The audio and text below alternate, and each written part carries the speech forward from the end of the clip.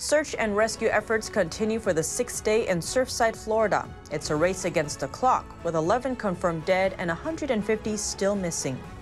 Facebook just dodged two antitrust lawsuits, with a D.C. court ruling in the tech giant's favor. But the Texas Supreme Court just ruled that Facebook can be held accountable for sex trafficking.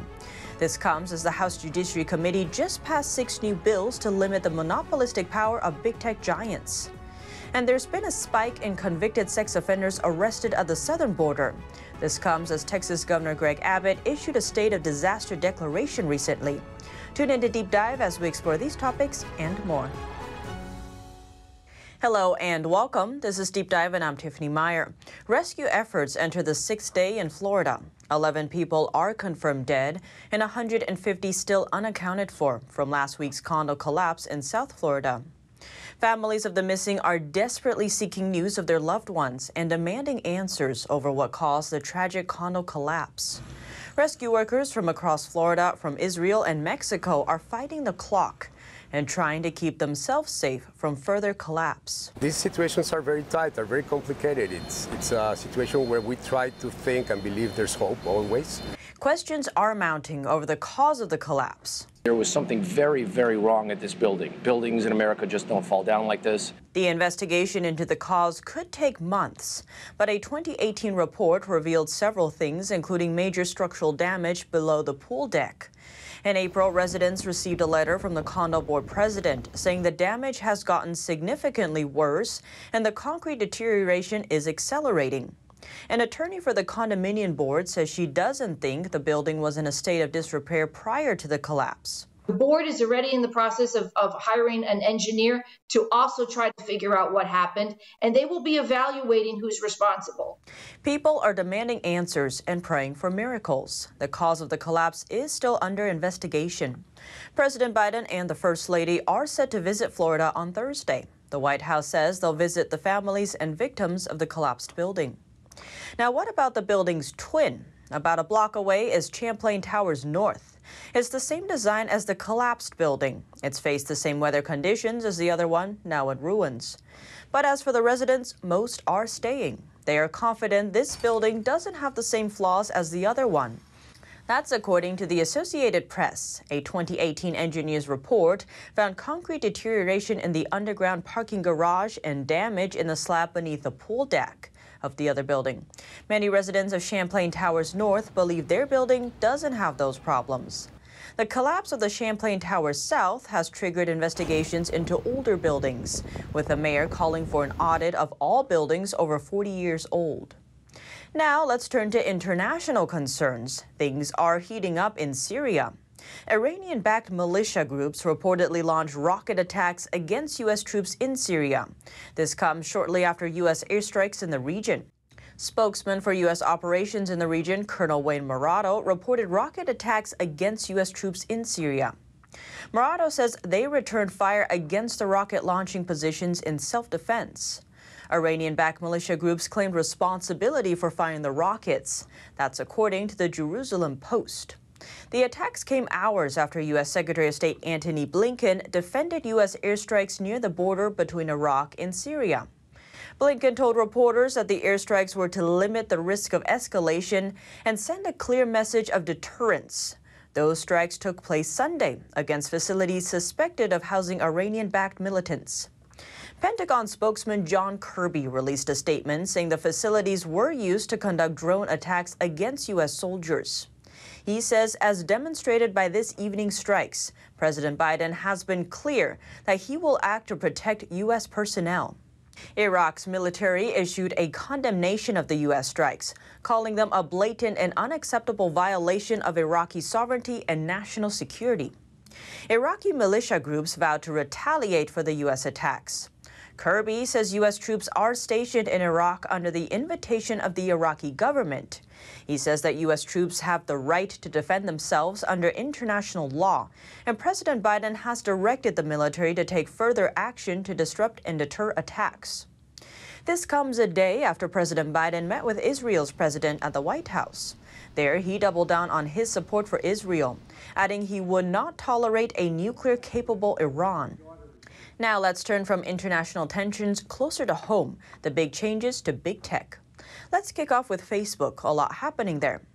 First off, Facebook entered the trillion dollar market capitalization for the first time yesterday. It's now the fifth U.S. firm to do so.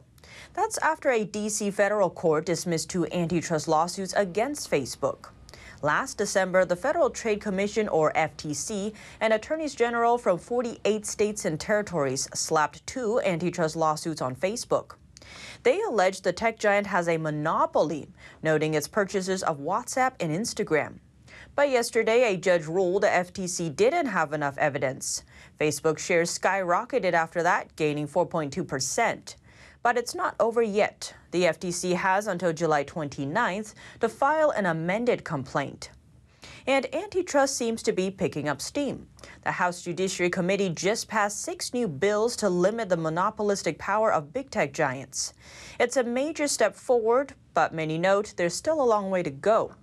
Democratic chairman of the Judiciary Committee, Representative Jerrold Nadler, called the bills a historic package of bipartisan legislation with the goal of reining in anti competitive abuses of the most dominant firms online. The bills aim to break down big tech's monopolistic power by making it harder for them to acquire potential rivals, as well as to prevent them from selling or promoting their own products to wipe out competitors. The House Antitrust Subcommittee found that big tech oligarchs are squashing competitors by buying them out or replicating their products. That's after a year and a half long investigation into the four tech giants. For example, they found that Amazon uses data collected from its own independent sellers to replicate and promote its own Amazon made products. The five bills aim to regulate the digital marketplaces and prevent monopolies. This is the biggest move yet to make big tech smaller. If these bills pass, tech giants will have to restructure business practices or break apart. The U.S. Chamber of Commerce, Amazon, Apple, Facebook, and Alphabet's Google are pushing back. And some U.S. representatives are also voicing concern. Ohio Representative Jim Jordan issued a statement saying big tech is out to get conservatives. He says the Democrats are pushing, quote, radical antitrust legislation that will systematically change the U.S. economy as we know it. Instead, he is pushing for legislation that, quote, holds big tech accountable and actually addresses censorship of conservatives online. He says that legislation is coming out in a few days. Now, while Facebook seems to have dodged the antitrust bullet for now, it's not so lucky in other areas. The Texas Supreme Court just ruled that Facebook can be held accountable for sex trafficking. Usually, if a Facebook post defames another person, the user can be sued, but Facebook can't. That's because Section 230 of the Federal Communications Decency Act provides immunity for web platforms from the words or actions of their users. But the Texas Supreme Court ruled on Friday that Facebook could be held liable if sex traffickers use the platform to prey on children. The state court's majority wrote, We do not understand Section 230 to create a lawless no man's land on the Internet, in which states are powerless to impose liability on websites that knowingly or intentionally participate in the evil of online human trafficking. Facebook has contended that it's protected under Section 230. But Justice Jimmy Blacklock noted that holding Internet platforms accountable for their own misdeeds is quite another thing. The ruling follows three Houston area lawsuits involving teenage trafficking victims. Victims of teenage sex trafficking filed the lawsuits, alleging they met their abusers through Facebook's messaging service. They also claim that Facebook violated the Texas Civil Practice and Remedies Code, which was approved in 2009. Facebook asked the courts to dismiss their lawsuits, arguing that Facebook is protected under Section 230 of the Federal Communications Decency Act.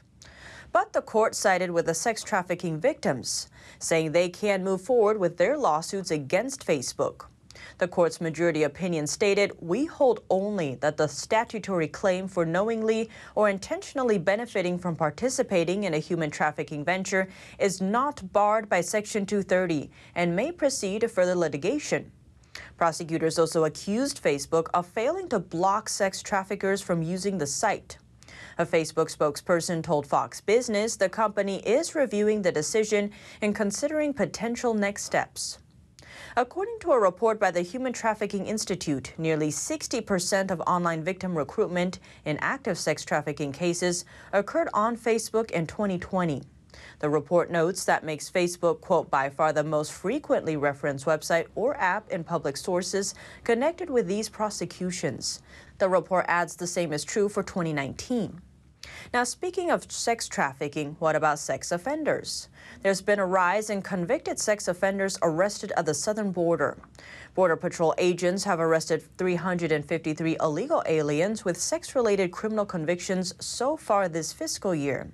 That's compared to 55 last fiscal year and a total of 58 for 2019. Del Rio Border Patrol Section Chief Austin Skero said the section has seen a 1,400% increase in the number of sex offenders arrested by Border Patrol agents. He says, We've gone through this before. We've seen these increases, these surges for the last 30 or 40 years. It's never been this bad. Adding, I'll tell you that straight up. I've never seen it this bad. According to the newly appointed acting Border Patrol chief, Border Patrol has detected more than 250,000 illegal aliens who have evaded capture so far this year. He says, There isn't a day that goes by that I don't read a paper or a report from my agents that talks about criminal aliens, sexual offenders that they've apprehended out there. Adding, it's impossible to estimate what the real number who have evaded Border Patrol without detection are. Now, according to reports by Customs and Border Protection, many of the criminals being caught have already been deported, sometimes on multiple occasions. Texas Governor Greg Abbott issued a state of disaster declaration on June 10th. He said, We are going to start making arrests, sending a message to anyone thinking about coming here. You're not getting a free pass, you're getting a straight pass to a jail cell. He notes 34 border counties that are struggling with cross border crime and illegal immigration. Abbott and Arizona Governor Doug Ducey issued calls for help to other governors. Several Republican governors so far have pledged support. They've sent law enforcement personnel or National Guard troops. But what do you think? Let me know below. Thanks for tuning in a deep dive. I'm Tiffany Meier, and see you soon.